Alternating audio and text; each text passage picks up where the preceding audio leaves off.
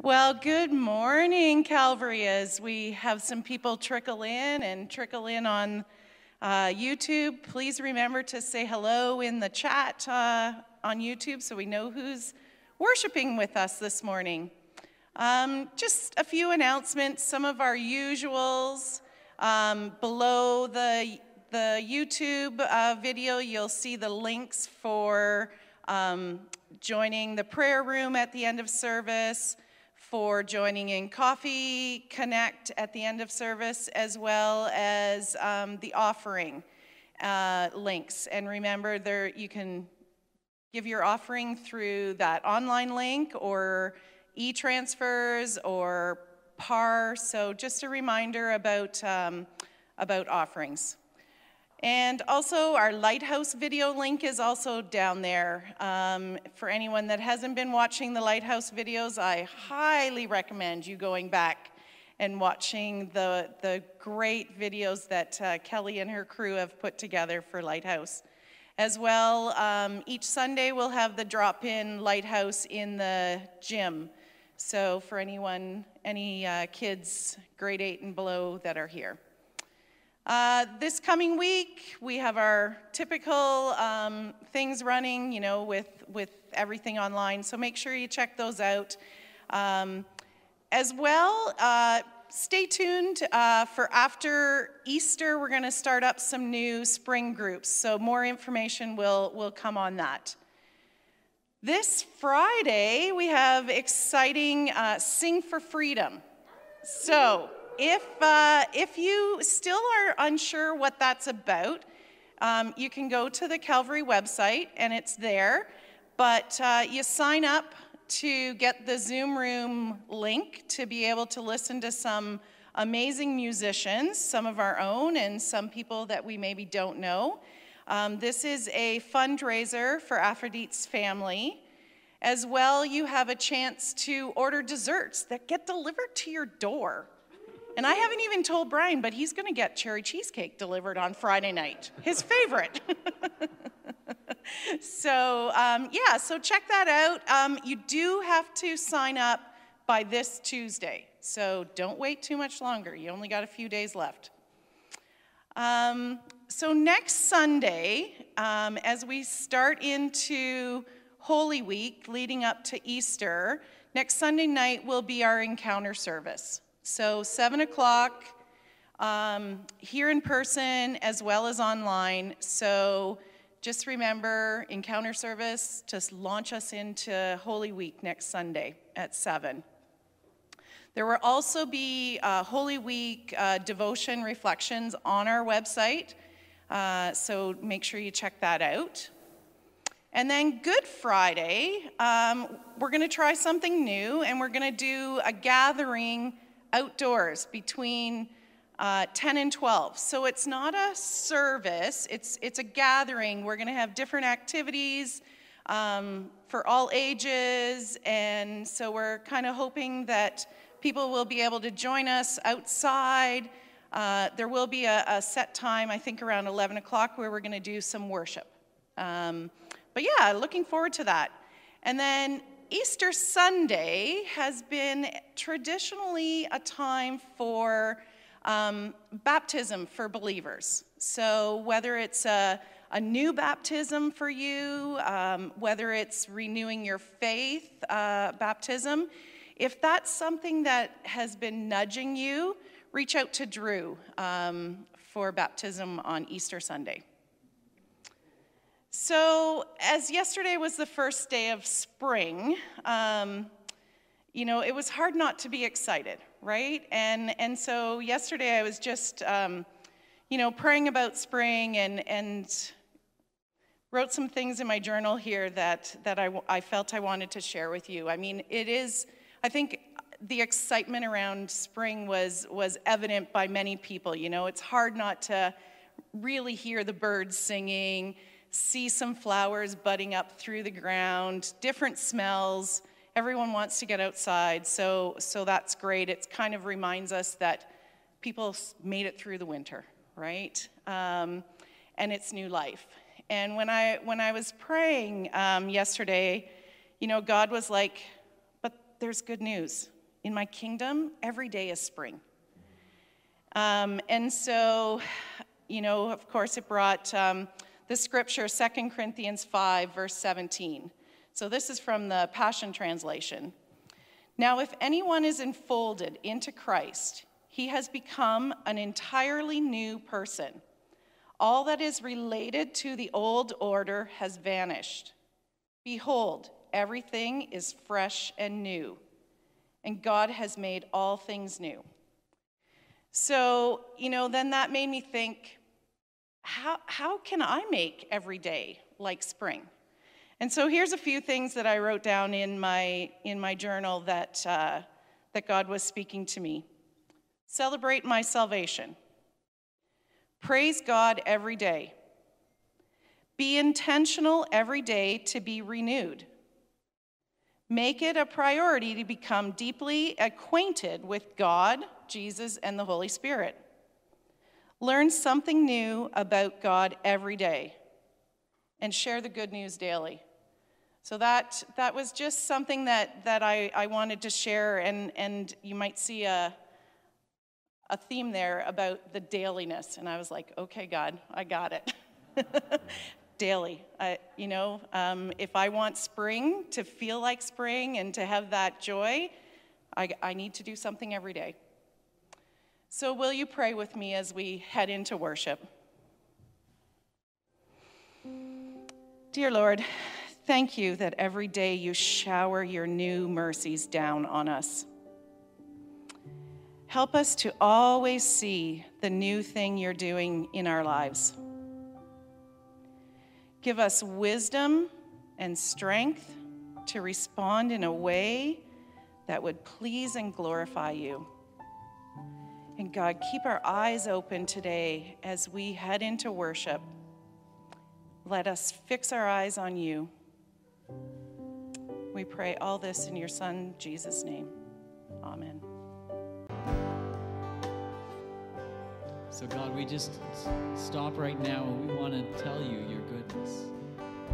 So, I just want to invite you to make your own prayer right now. Whether it's about the times you felt Him or the times you realize something about Him or something about who He thinks of uh, you. God, we come to you and we want to thank you. You deserve our praise. You deserve that you would choose to love us so much, that you would seek us out. You work in our lives whether we know it or not, opening up paths to new jobs, new understandings. You stir our hearts more than the sun breaking forth on a spring day. And God, we ask that you would help us to know you more because we know that that gives you pleasure and glory. We turn to you, our eyes to you, our hearts to you.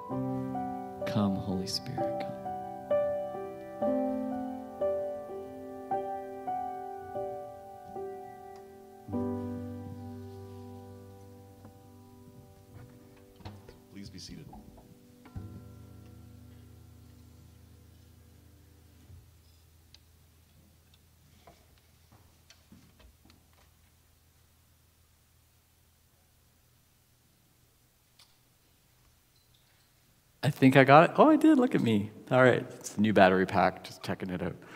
Um, we're going to, I just want to talk you through one quick thing, and then we're going to pray for the needs in our community. Uh, so, Steve, if you can pop that slide up really quickly. Uh, probably this hasn't happened for most of you, but COVID has made it difficult to plan things. Have you noticed that? I know, it's just us. Um, so, one of the things as we've been seeking feedback, because our heart here is to support each other and for our leadership to be supportive and, care, and walk alongside each other, um, COVID has made that doubly difficult. Um, and so, one of the things uh, from feedback that we've got that we want to try just to say, we want to make this as easy as possible for people who are going through a struggle, uh, wanting prayer, um, wanting just to talk through things. We want to be available as best as we can and get better and better at that.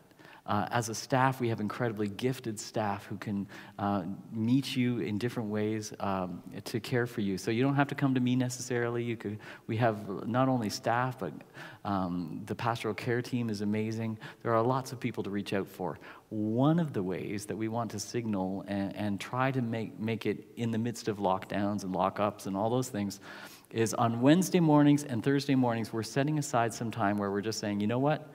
No matter what, we're going to make sure that we're around at the church or available on, for, by the church phone uh, 11 till 12 and 6.30 to 7.30 one of the questions that was asked when we put this poster out to test it around was does that mean you're only available for two hours a week no no, quite the opposite. What we want to say is you know how when you're talking to somebody and they give you their full attention? We have lots of things going on and, and, and we want to be available all the time, but we're, saying, we're realizing that we need some set times just so you know if you've been thinking, oh, I don't want to bother them, they're too busy, or, uh, you know, maybe my need isn't that important. No, your need is so important that we're setting aside time and saying, even if nobody reaches out during that time, we're going to be praying for our congregation during those times. We're going to be thinking about you. We're going to be, but we just want to be available. Does that make sense? Sound good? Okay. Let's pray for our community. Will you pray with me? God, it is a beautiful spring morning. So thank you that we can be here in your sanctuary, which is far more beautiful, where you meet us exactly in all of your glory and all of your goodness. And you open our eyes to, to see you, and you open our eyes to see one another. God, thank you that we don't have to be doing well to come to you. In fact, you love to heal, you love to restore, you love to go and seek and to save the lost. And so today, we pray, God, for those in our community that are working through some stuff, for those who are struggling with anxiety or fear, or all the things connected to that, for those who are recuperating from sickness or waiting on diagnoses or trying to figure out what's wrong. For those who are struggling with their faith right now because it's a difficult time. Sometimes it's hard to feel you. God,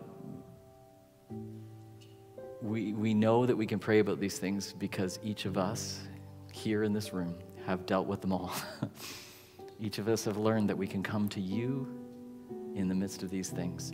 And one of the ways that you meet us is through one another. And so we pray for Calvary that you would help us to be more and more, better and better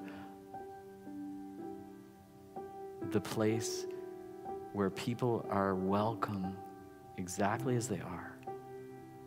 A place where there's love and the grace that you have for us reflected through us. And that you would teach us how to walk with one another through healing and restoration as you build us up and you use us. We pray in Jesus' name. Amen. So, uh, this word that we have back here, we're just kind of unpacking over the last few weeks. We talked about Zacchaeus, and that one of the things that we want to be as Calvary is that, that Jesus is one who seeks and saves the lost until they're found. And so, one of the places we want to be is a place where people can come and be found by the King of Kings and Lord of Lords and know that it's okay to be seeking. Know that it's okay to realize at some point, I need something that I need Jesus. I need help. I need Him in my life. R, I was, t- I'm not going to go there. I was told that if you say F and R, it doesn't sound good. So, R is all about restoring, and we talked about that last week. Had this piece of furniture and got this, got the uh, power tools out, just to say, you may find yourself in different seasons of your life having God point out to you an area that He wants to restore. It's because He sees us as the treasure that is to come, and He is delighted to draw close to us even if it hurts us, to, to restore us, and so that his beauty is reflected in us.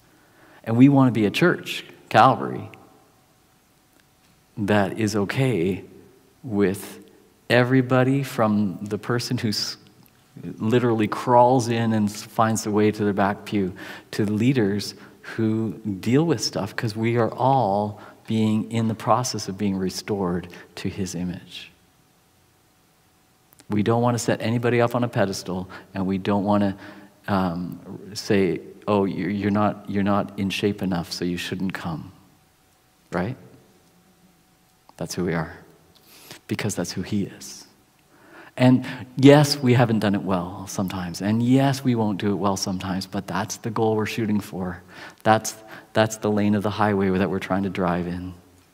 And sometimes we drive like a toddler behind the wheel of a car, and sometimes we uh, drive well, but we're working towards that. And we're going to keep declaring God is the one who seeks and saves the lost, and so we are. God is the one who restores us into his image, and so we are seeking to be restored.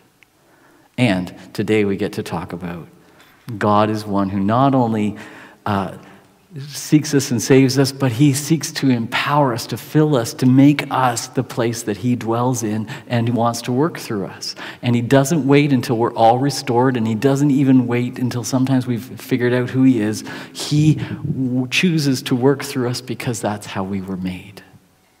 He made us to reflect his glory, his love, his goodness, his grace. God empowers us. And so I want to talk you through a little bit of my story about how I've learned about that for me.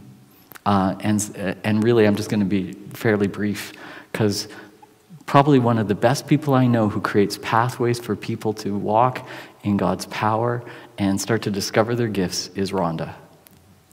Right? And like, we are so lucky to have her here. And she's just going to get to speak at, uh, and I told her this morning, you could stand up here and say nothing, and just because God does that through you, we will be empowered. But it's going to be way better than that. Okay. no pressure. So, when I was growing up, I grew up in the United Church, and I learned that, going, that being a Christian was all about doing things.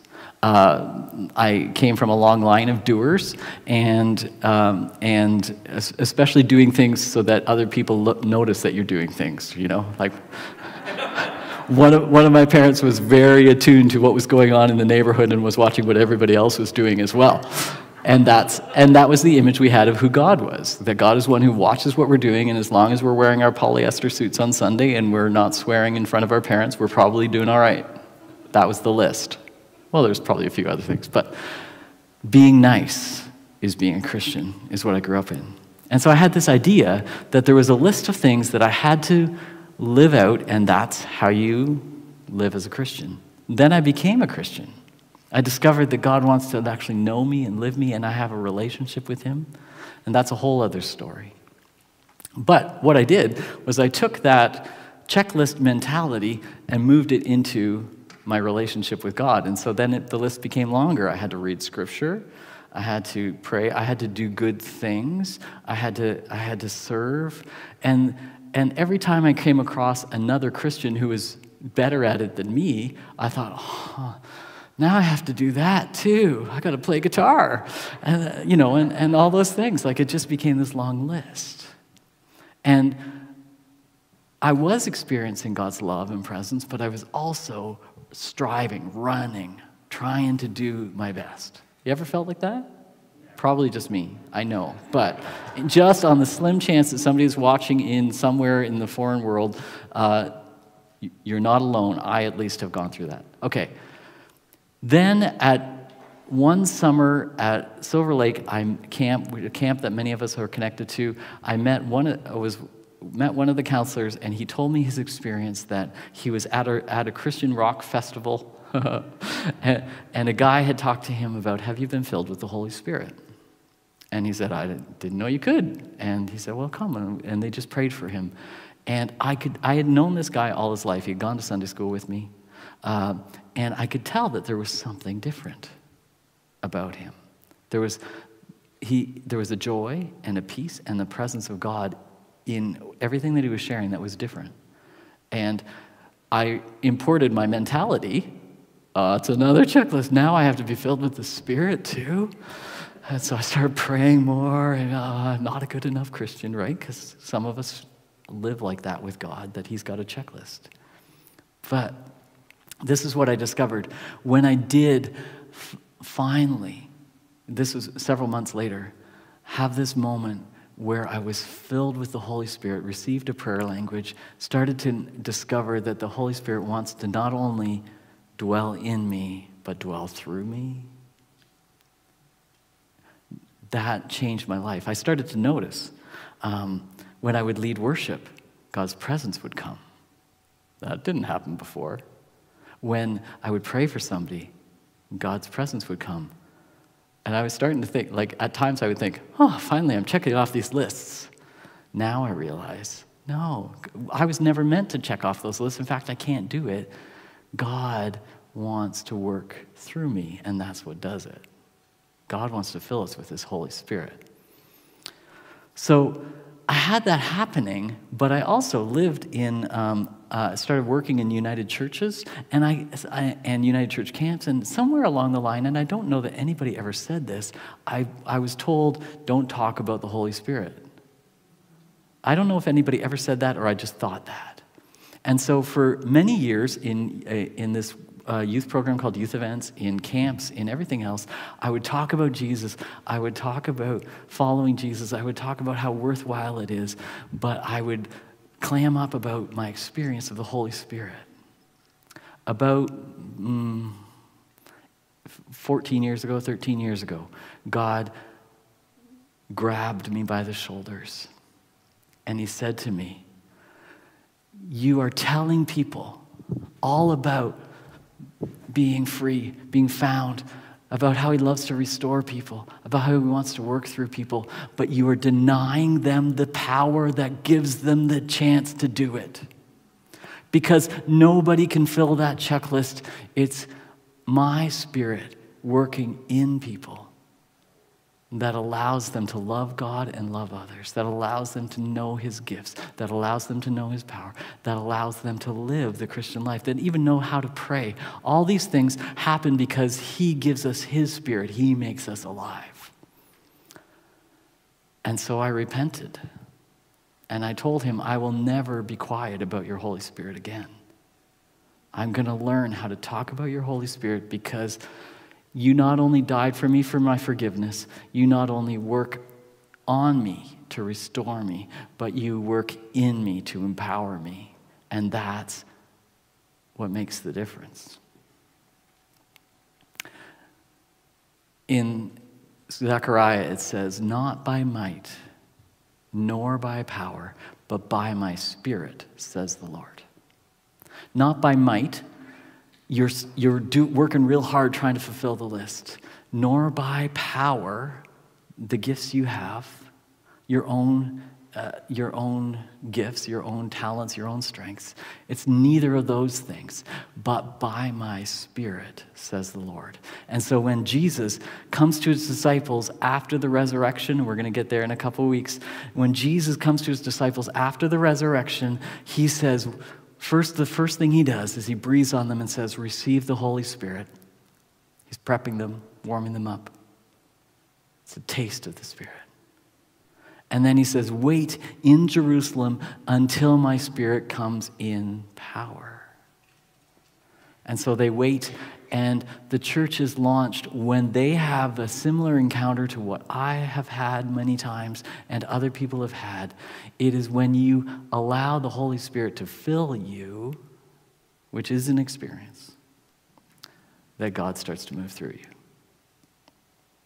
So perhaps you're saying, uh, well, if this was important enough for Jesus and it was important enough for people in leadership here and, is, and it's important enough to never change the subject, what am I supposed to do with that? What am I supposed to do? How am I supposed to get filled with the Holy Spirit eh, so that it's not another checklist, but so that I can be free from those checklists and just be free to let Him find me, to let Him restore me, to let Him empower me so that I become, get to know Him and others can know Him through me? What do I do? Well, a couple things. And we're going to move into prayer now. One of them is listen to Rhonda. right? Another thing is, is start asking people to pray for you. That's what I did. Even in my striving, God, I think God laughed at me. Like, I, you ever wanted to give somebody a gift so badly and then they're like running around striving, trying to get it, that they miss what you have for them? God longed for me to be filled with His Spirit. And He even used me running around to try to get it. But I just pray and ask people to pray for you. Multiple saints in our church have gone through this moment. I think it would be okay to share about Betty Wolf, who in her early 70s went to a church conference, heard somebody saying this same message, and said, I want that. In her 70s, having lived this beautiful Christian life of service for multiple years, received the infilling of the Holy Spirit. And she would declare that multiple things changed for her in that time. So, all right. One more thing. I want to give you a picture that uh, multiple times God speaks to me in pictures. Sometimes they're like movies. One time, a couple years ago, in the sanctuary, I was praying and I, God showed me a picture of people sitting around. And Jesus uh, was huge in the sanctuary and had this big sword. And at first I thought, oh, he's going to chop us all down. And, and then he came up to individuals and he knighted them, you know, like laying the sword on their shoulder. And as he did that, which is, I understand now, him filling them with his spirit.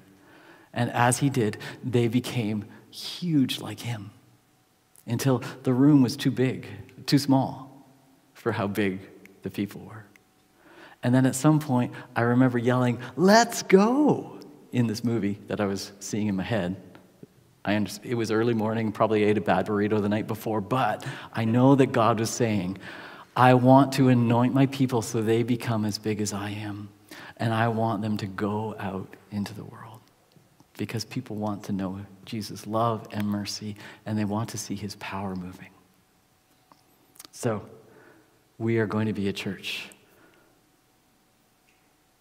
that welcomes and seeks the found to the lost to be found that seeks to see people restored and that recognizes on our own strength we would just do church but in his strength we will see his kingdom come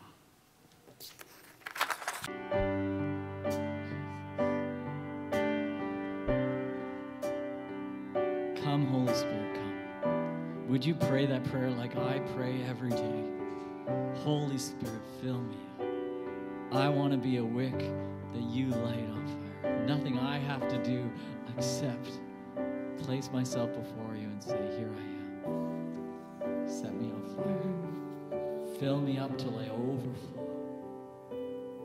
I want to see you move. I want to know your love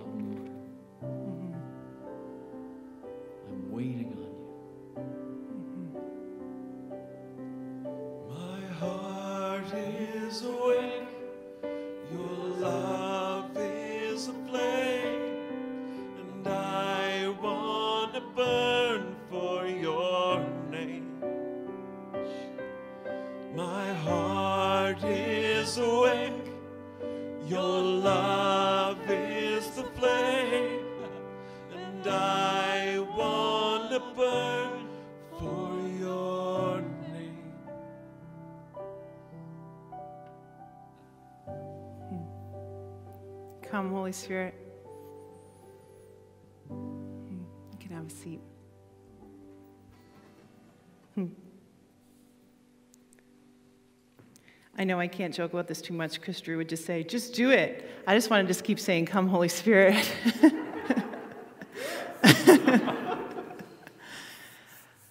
uh, so empowered. That's, uh, that's the word that we're, we're sitting in. And Drew set that up nicely. And I, and I love the places that, that he went um, as the foundation, as the, as the starting point, as that personal encounter with Holy Spirit. Um, when we've been talking about empowered, um, a couple weeks ago, we kind of gave, gave, a soft launch of some of these things. And I, and I use the image of God stirring us not just to be spectators in the game, and, but, to be, but to be participants in the game. That God calls us not just to, to just sit and watch, but to be fully, fully engaged, not just to come and, and, and watch or listen to what God is doing, not just hearing about it in church or on a Sunday um, or even just singing about it, but He calls us to be actively in the game and, and sports people you get you can you can picture that right? Like we've all or even just we've all been spectators in the stands and it can be exciting it can be invigorating. The adrenaline can still still get at you when you're in the stands when you're in a spectator. Being part of cheering for jesus team is still exciting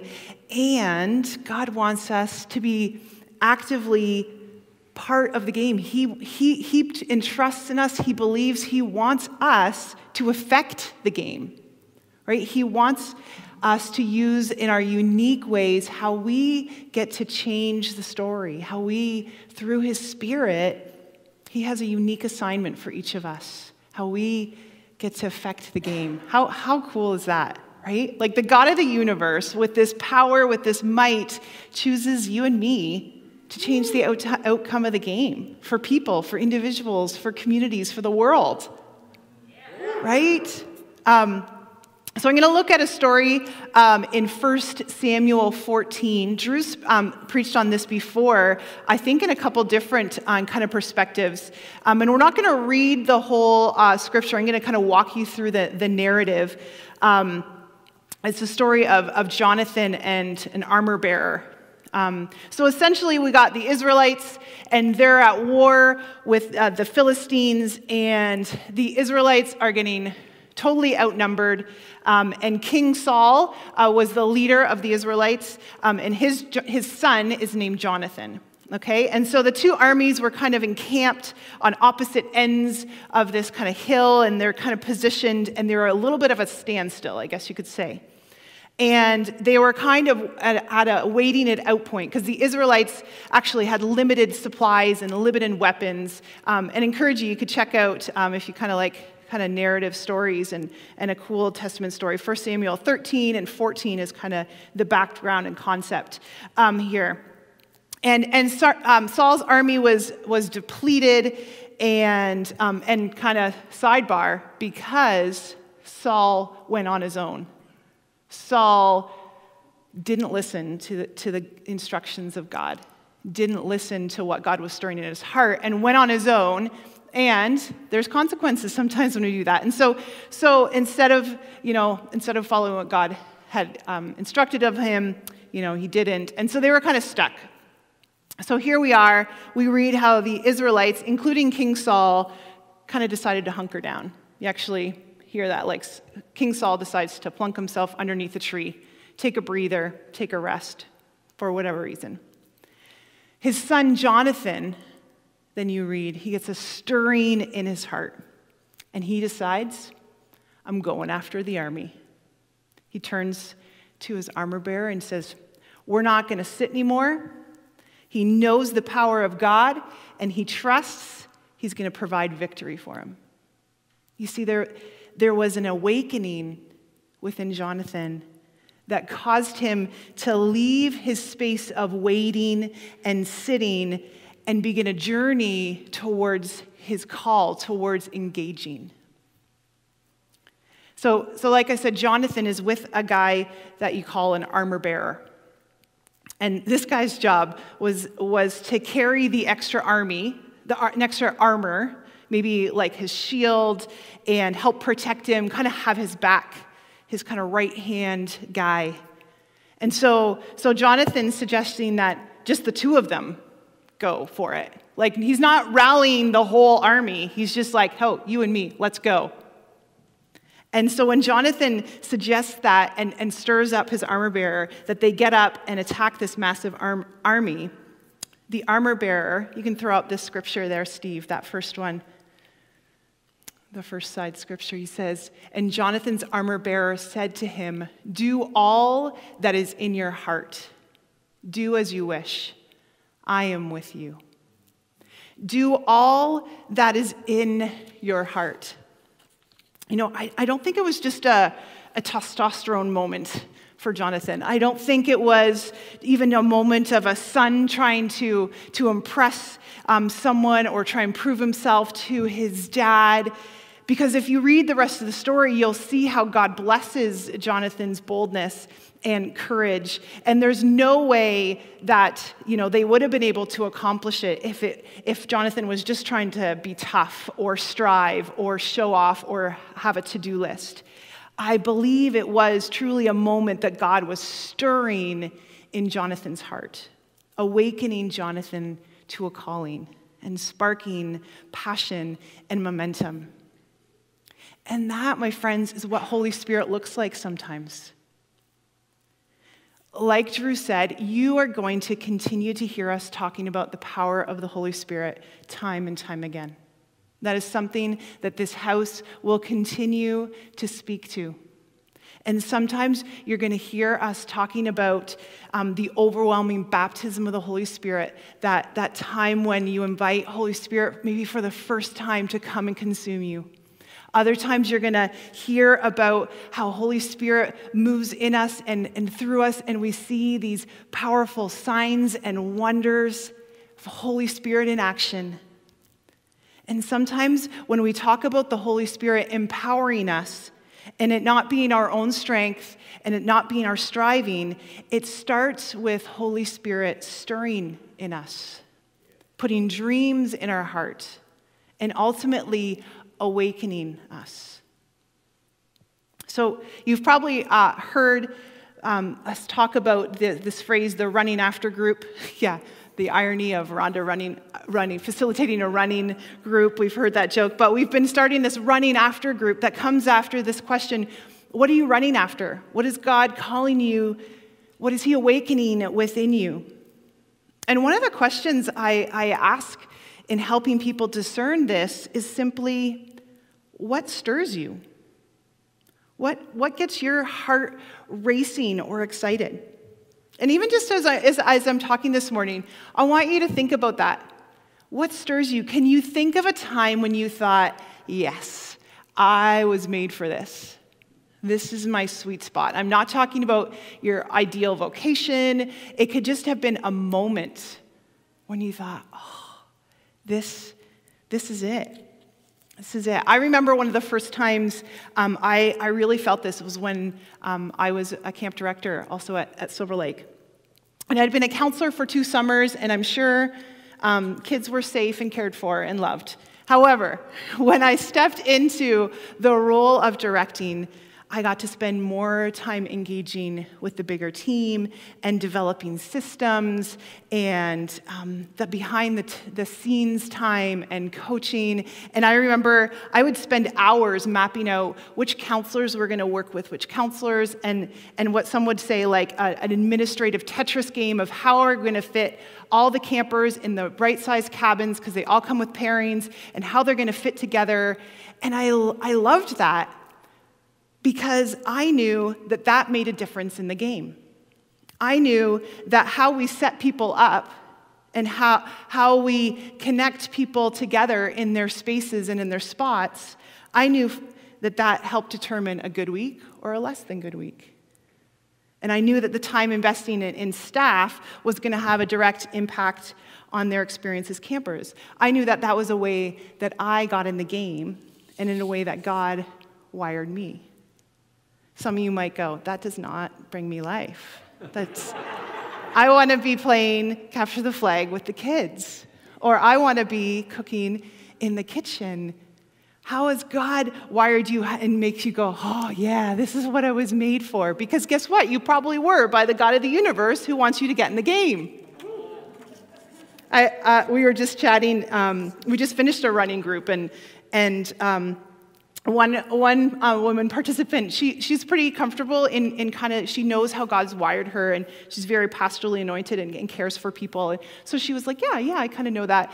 And then I, I bring up some of our, our church's desires to um, kind of step into responding to crisis care more. And her face lit up. Like, who, who, whose face lights up when you say the word crisis? but this girl because that's how God wired her, and that's what God has, has stirred in her, and Holy Spirit's awakening in her. Let me throw another, another question at you of, of Holy Spirit empowering you. Can you think of a time when you felt stirred or propelled or compelled to do something, to say something, to volunteer for something, maybe even which ended up being surprising to, your, to others or even to yourself? And you may not have expected it. You just kind of found yourself there. That's Holy Spirit, right? That's what it can start looking like when we find ourselves with our hand up volunteering for something even before you have a time to talk yourself out of it, right, Lori? Ask Lori how she ended up on the refugee team. When you start talking with someone at work about church or Jesus, even though your armpits are sweaty and you want to run away, but you can't kind of stop yourself, it's just kind of coming out of you. That's Holy Spirit awakening something in you when you end up standing on this very platform asking for prayer after service, breaking down in tears because you just know you want more. When maybe it looks like when, when you've, your days are long and, and you're already tired and, and you're exhausted and you've got nothing left, but you get a phone call from a neighbor in trouble, and somehow you find you have another three hours in you left to give. That's that's Holy Spirit. That's what being empowered by the Holy Spirit can sometimes look like. So, again, what stirs you? What's Holy Spirit empowering in you? What's Holy Spirit empowering in you. You see, later on um, in the story, Jonathan and, and the army, it, it, gets crazy cool. I encourage you to check out the story. He, he turns to the armor bearer, he says, Let's go. And, and they go to face the Philistine army, just the two of them, and they devise this plan. And if they say this, then that means God's favor is on us, so then we're going to go. Um, and um, they end up getting to the first kind of batch, the outpost army, and there's about 20 of them. And Jonathan and the armor bearer end up kind of destroying all of them and having victory. And then that was enough. Um, the Holy Spirit, then God sends kind of chaos and panic amongst the rest of the hundreds of the Philistine army. So then, when Saul and the other Israelite army um, kind of catch up what's going on, they get there, and the Philistines were all in panic, killing each other, and God saves Israel. This kind of crazy supernatural, whoa, like how could that happen? These two guys and all this kind of happening. And, and sometimes when we picture Holy Spirit empowering us, we picture, picture the final kind of battle scene of victory and, and absolutely, that is, that is what happens when we step out. But sometimes we have a hard time figuring out how do we get to that point?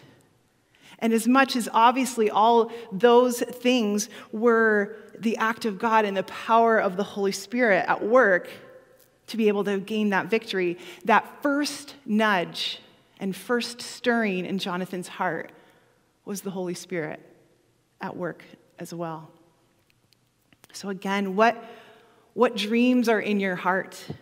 What, what stirs you? Are there, are there things in your heart that you need to be awakened to? Um, a, a, lot of some of this teaching and learning um, has, has been really reflected well as, as Calvary's been stepping into this um, Banning Liebscher, the pastor of Jesus Culture, also has some really great resources. And, and he says, The dreams in your heart are one of the main ways God awakens you, God stirs you, God moves you. But I think too many of us have stopped dreaming. I know I have. I, I recognize in conversations or, or in reflection times Maybe it's the, the realist in me as you get older, you kind of go, well, that's silly. Right? Or, or maybe, maybe, you know, in some of my wisdom or in some of my, my relationship with God, God has, has sifted through some of, some of what I would have thought were dreams, and, and He's helped me let go of ones that were may, maybe were just wishes or, or just different pictures.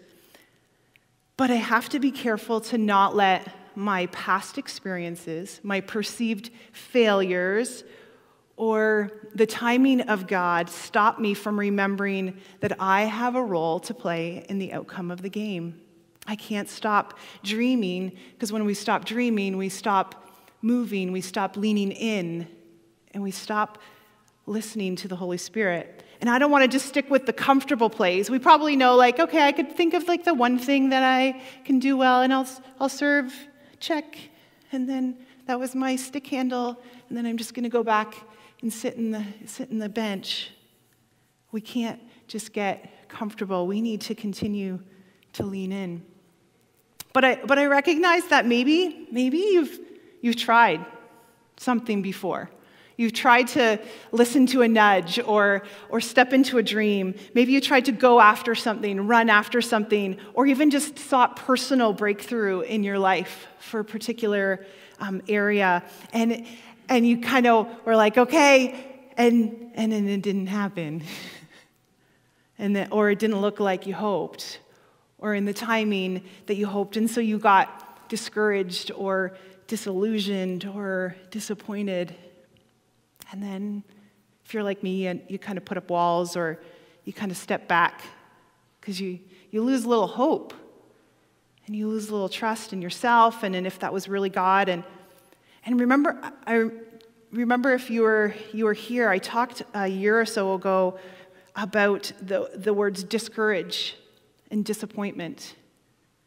When you take courage and, and and dis is taking out. So when, when you have disappointment, you're taking out your courage. Or when, especially in, in this message, when you have live in disappointment, you're taking out, you're robbing yourself of your appointment if you live in disappointment. I always start off the, the, the running group um, sharing that our heart is to remind ourselves that we have both a kingdom assignment, I think this is one of the slides there, Steve, a kingdom identity, who God made you to be, and your kingdom assignment, who God made you, what God made you to do. Think about those two things. You have a kingdom assignment, or sorry, you have a kingdom identity, who God calls you, who He made you be. And Everyone has a kingdom assignment. What has God made you to do? Now, doers, don't jump to that second one and just go, okay, that's my checklist thing. No, they're both birthed out of that awakening, out of that dreaming, out of the breath and presence of the Holy Spirit. And when we stop dreaming, when we stop inviting Holy Spirit to stir, when we stop creating that space for Holy Spirit to do when we stop listening, we stop moving. We stop moving into our kingdom identity. We stop moving into our kingdom assignment, aka we get stuck. Right? Don't, slight tangent here. Don't hear me when I say a season of rest or a season of healing is the same as being stuck. Okay? So if you feel God is moving you into a season of rest, or moving you into a season of still, or moving you into a season of restoration, that's still moving. What I'm talking about is when you find yourself stuck where you're no longer pursuing your kingdom identity and kingdom assignment and allowing Holy Spirit to breathe on that. I've been, I've been hearing the word awaken all over the place lately. It's like, you know, one of those times when you're like, I'm going to buy a red car, a certain kind, and then you see it everywhere, right? And you're like, suddenly I'm seeing it everywhere. That, that's for me has been the word awaken. Been seeing it in new songs that have been coming out, and our, our prophets in the house have been talking about awakening and, and, um, and just different teachings and, and different words. And even just in the, the spring season, there's just this sense of awakening and you can put this, this um, statement up because I want to make it a declaration. Uh, I believe that God is wanting to awaken us to dreams and to his heart. I believe that God is wanting to awaken us. And, and maybe, um, maybe for some of us, that first step maybe is allowing Holy Spirit to heal and restore any wounds or disappointments that we might have from past experiences, um, from other times, so that we can dream again. That's why the word restore has so much weight and so much importance. That's why all of these things are, are interwoven. We need to be a body that creates space for, for restoration and recognize that we are empowered when we step into restoration. So don't rule yourself out of Holy Spirit moving in you and using you when you feel tired or not together. Because, friends, I can tell you if that was the case, I would not be up here this morning. It was a tough slog this week. It was still like yesterday that God pieced some pieces together. So I could have easily, and probably did at certain points, and Kelly and Drew had to be like, no, you're good, you're good. Where I could have just checked out and said, I don't have anything I'm in the restored phase right now, so like I'm just gonna use this week to reset. Yes, and God wants to continue to move and stir. So we are empowered even when we have to be restored. Or, or maybe more like this, where you're like, I it's not so much restored that I need, I just have kind of stopped moving and allowed God to awaken me because I feel like my dreams and nudges from God are, are too big or too ridiculous, too ridiculous or, or too much. Like maybe that's, you've been, that's a little too much, right? So they're probably then actually not from God, and I'm probably just being whimsical, and I'm probably just, right? And we limit God, but maybe more accurately, we limit God within us. We believe that God has the power to do it, but we, we forget that He actually wants to partner with us. Or we don't want to believe that He would actually want to partner with us. Um, let's throw that, that next scripture up. Jonathan says in verse 6, when before they're making their way up, they're about to trek up to face the army. And he says, This is the message version. Maybe God will work for us. There's no rule that says um, he can only deliver us by using a big army. No one can stop God from saving when he sets his mind to it.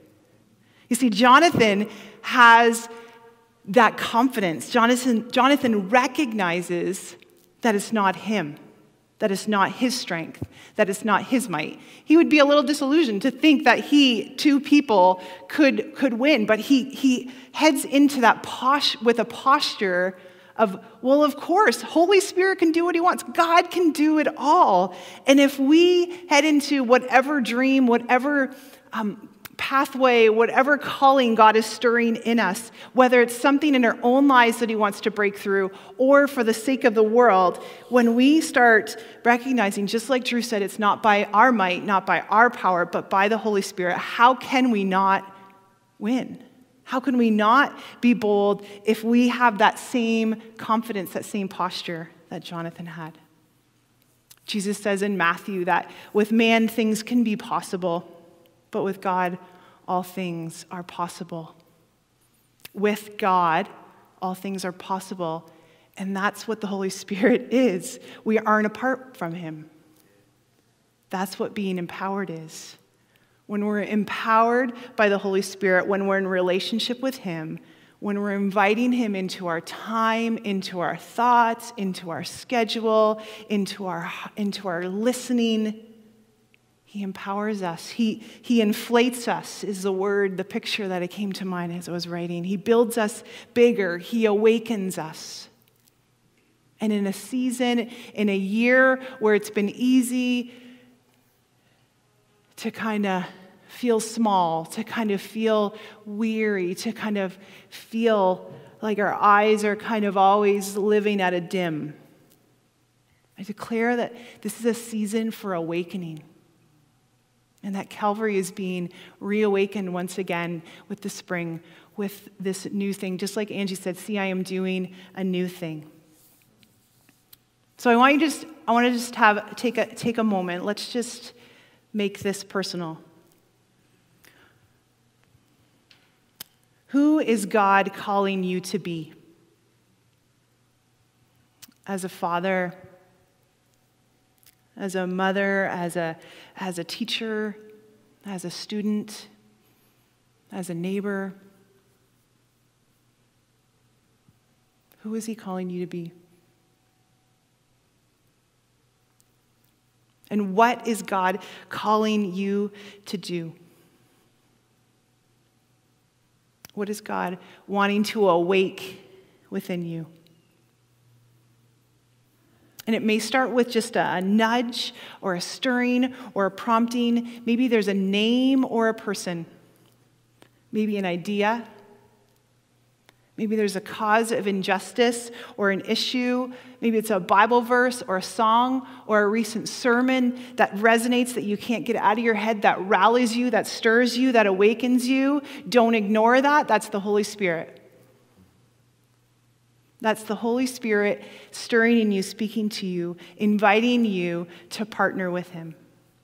So let's go on a journey towards Him, towards that calling. And don't just take that, that, that nudge and run with it on your own. Invite Holy Spirit to breathe into that dream.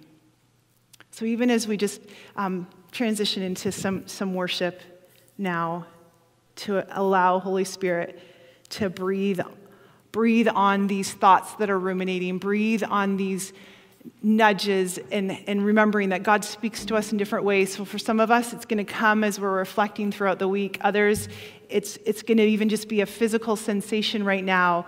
Others, there's going to be a name or a memory that's popping into your head. And let's just invite Holy Spirit to breathe onto who we are, onto our identity, both our strengths and our weaknesses, our failures and our victories what he calls us so that we can be bold and courageous like Jonathan, knowing that we serve the God of possibilities. We are walking with a God who is empowering us, stirring us, and at work with us. So, Holy Spirit, awaken those dreams, stir our hearts and with your power, your breath, your presence, we step into the game.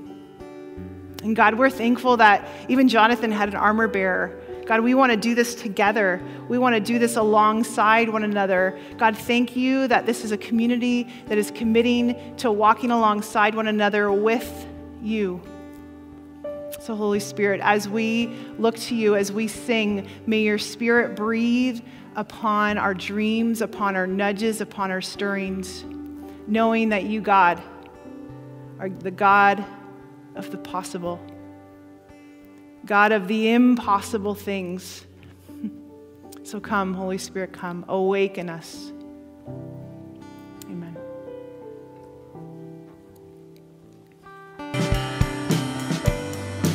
So there's, um, I'm just going to get Dave to keep playing. So there's this many times in scripture where somebody like Hannah pleading for a child because she knows that God wants to birth something through her. Where David or Jonathan feel a stirring and they lay it before God and say, God, I will move and you, if you move through. I'll start and then you move. Peter steps out onto the top of the boat and says, Jesus, call me to walk to you. And he walks on the water. God wants to empower our steps through our stirring. And so I want to invite us now, wherever we are, what are you laying before God and saying, I'm stepping into this? Move through me.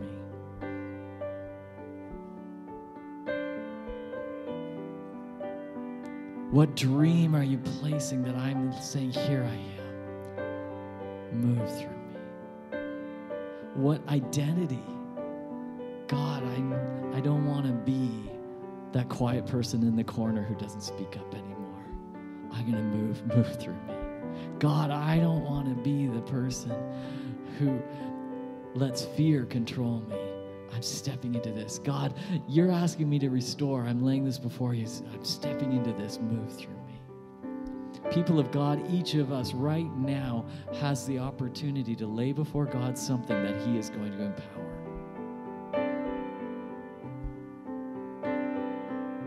Sometimes He moves and then we get to respond. Many times He stirs in us, that's His moving, so that we can say, okay, and then He moves in power.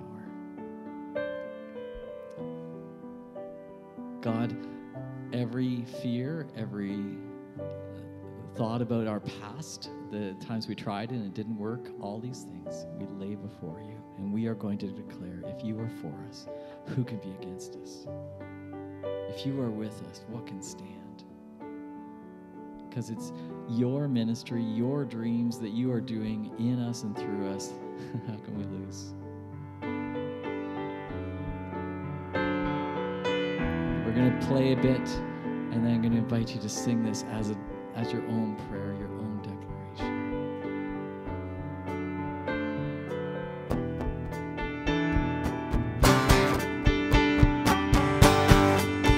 God, we rise. I hear you saying, Do whatever's in your heart, and I will be with you.